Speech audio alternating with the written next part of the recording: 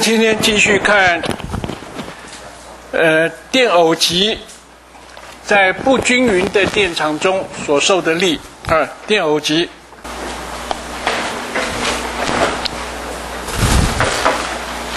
好，它就是说，我们有两个电偶极，有有一个电偶极的两个电荷，啊，一个是正 Q，一个呢是负 Q。他们所在的地方电场不一样大啊，电场这个电场跟这个电场并不是一样的啊，不是一样的啊。于是呢，呃，我们就可以求它的力啊，sigma f。它就等于正电荷所受的力加上负电荷所受的力啊，正负电荷受的力就是 F plus，这个是 E plus，啊，这个是 F minus 啊，好，那么这个是等于 Q。乘上一 plus，再加上一 minus，啊，这两个相减啊，两个相减，相减以后呢，它就变成 Q 乘上 delta 一。通常电偶极这两个两极的距离非常小。所以，即使这个电场跟这个电场不一样，但是它们相差也是很小。所以这里头的 delta 一呀，它等于一 plus minus 一 minus 啊，它是一个很小的一个呃量 啊。好，那么我们就可以把这个，这是一个向量嘛，哈。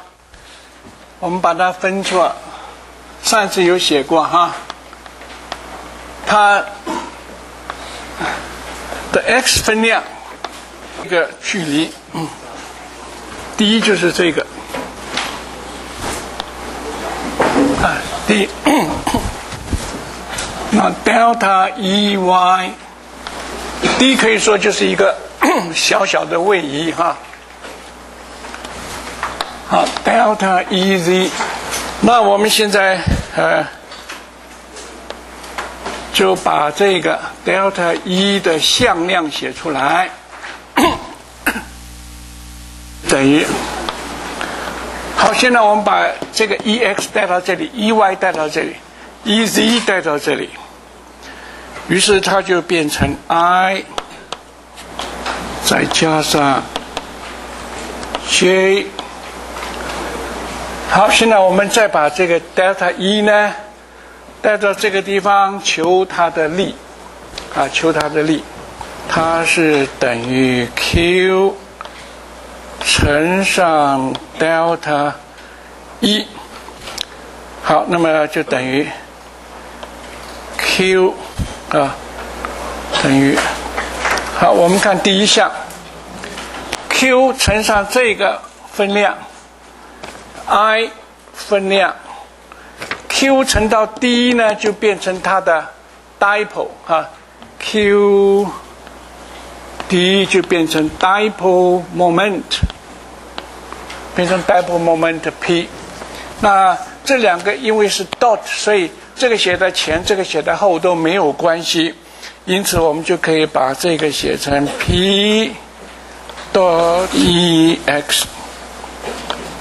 然后再加上 J P dot delta E Y，再加上 K P dot OK，好，现在我们就把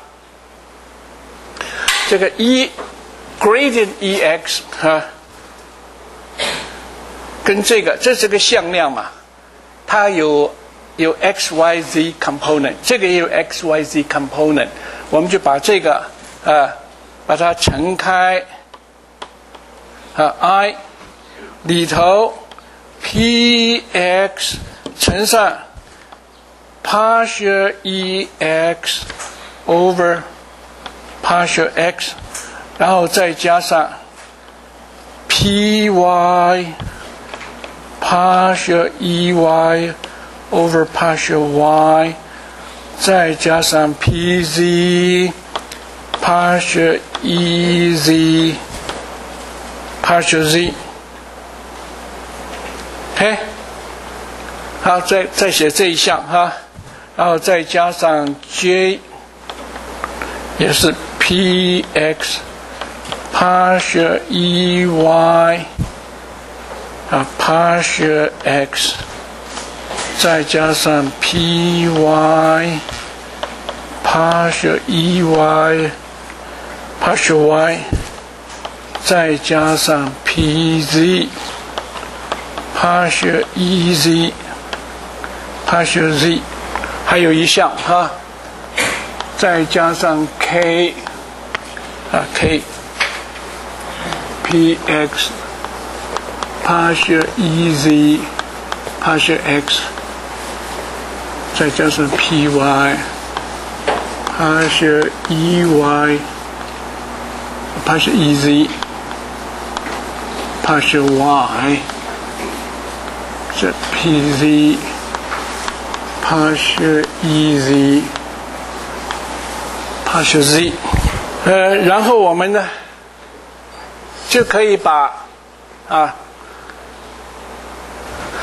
把这个式子这个式子画成这样子，p x 啊 partial over partial x，再加上。p y partial over partial y p z partial partial z，呃，乘上 i e x 加上 j e y 再加上 k e z，所以我们呃这个啊。这个正好是两个向量之内积，一个就是 dipole moment 的向量，跟这个 dell 的向量哈，它的内积就是这个向量跟 dell 这个向量做内积，然后再乘上这个一，这个加起来就是整个的向量一。从这里我们就呃证明出来。说一个偶极矩，它在不均匀的电场里面呢，它所受的力是这个啊，它的力，这是合力啊哈。有时候这个不写，就是代表这个偶极矩所受的合力，它是 p dot gradient 乘上一，OK。啊，那么我们讲过偶极矩，在均匀电场里面，它的外力是零了。啊，外总它的外力的总和是零，但是在不均匀的电场里面，它的外力不是零哈。那么当然它还有还有这个 torque，除了力之外，torque 啊有 torque，这个 torque 呢？它就会把这个像这个 talk，它会把这个偶极矩啊，啊，把它转到这个位置，他他就要试图把这个转到这个位置来哈。如果完全这样转到这个地方的话呢，如果它起初就是这样，它就是平衡的哈。所以我们就看到在介电值里面呢。如果我们把介电值放在电场里面的话呢，不管是均匀还是不均匀，放在电场里面，那么这个介电值就会受力矩，这个力矩就会把这个呃介电值里头的这个偶极啊，因为它一方面极化，啊，一就是外电场加上去以后会极化。极化我们说过两种状况嘛，一个就是说它本来是一个非极性的啊，正电荷中心跟负电荷中心在一起，在电场中就拉开了啊，于是它就变成一个偶极矩。另外一个是本来就是 polar molecule 啊，它有正有负，已经是一个偶极矩。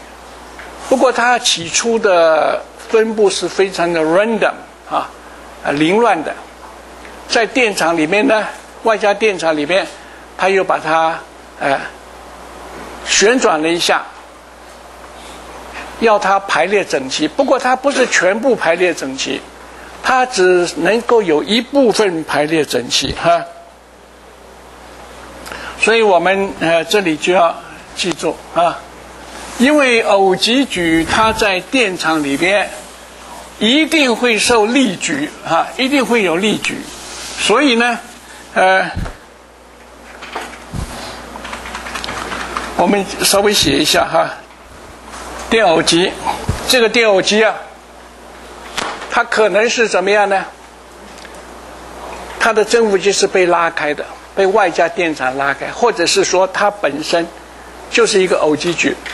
旋转一下啊，在电场中，我们这里写一下介电值好了。介电之中之电偶极矩，在电场中啊，呃，受力矩之作用啊，有一部分排排列整齐哈，有一部分排列整齐，不会全部都排列啊。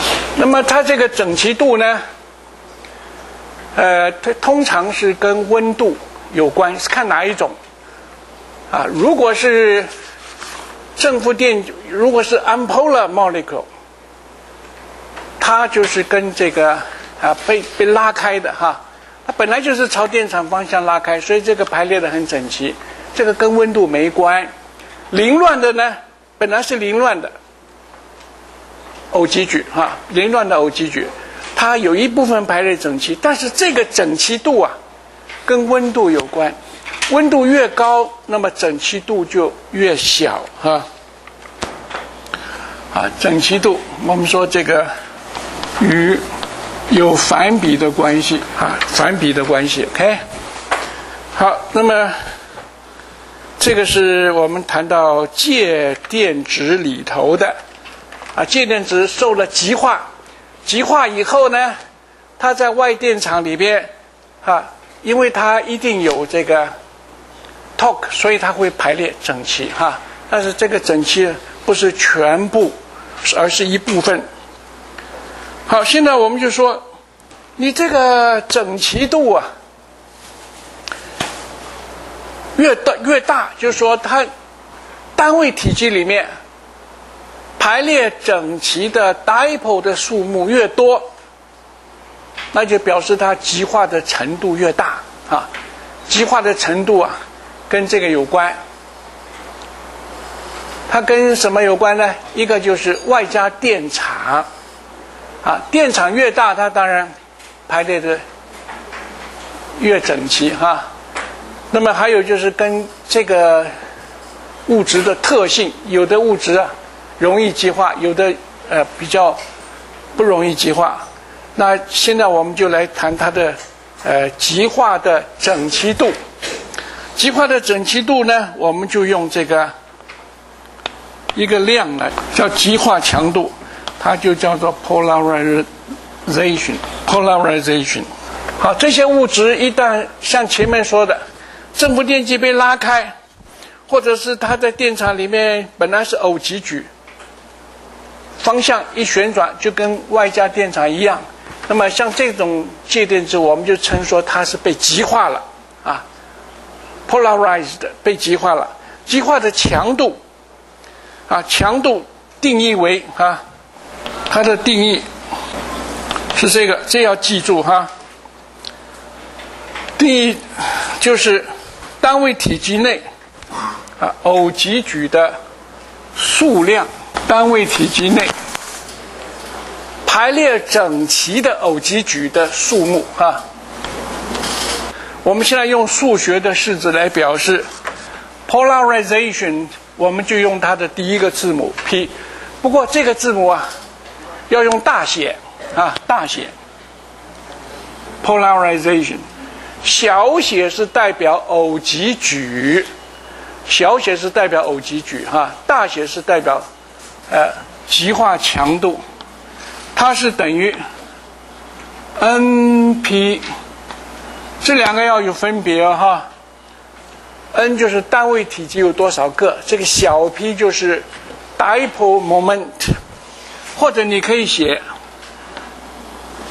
这个整个这一块的介质它有一定的体积了，啊，一定一定的体积，那么它的总的偶极矩啊。全部一起算，它总偶极矩有多少？然后被它的体积来除哈，这个被体积来除。我们写这个体积好，等等我这里会会这个定义一下哈，n 是单位体积，应该写电偶极，排列整齐的才算啊。然后 P 呢是每一个电偶极的偶极矩，每一个，然后 P total 是体积 t 内的总偶极矩哈。哎，我们有了这个定义，那现在我们就要来做一件哎。一个工作，我们知道这个物质啊，介电值一旦被极化，极化以后啊，它里头就有一些排列整齐的啊偶极矩。啊，比如说这是排列整齐了，OK，啊负正负正负正负正。